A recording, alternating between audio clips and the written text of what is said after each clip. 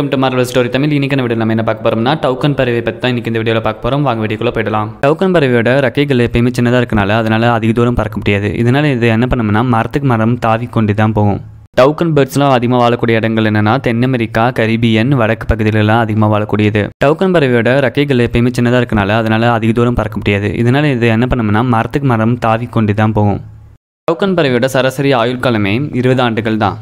Belize அப்படிங்கிற ஒரு நாட்டில் டவுக்கன் இனத்தை சேர்ந்த ரெயின்போ பில்ட் அப்படிங்கிற ஒரு பறவையை தேசிய பறவையாகவே அறிவிச்சிருக்காங்க.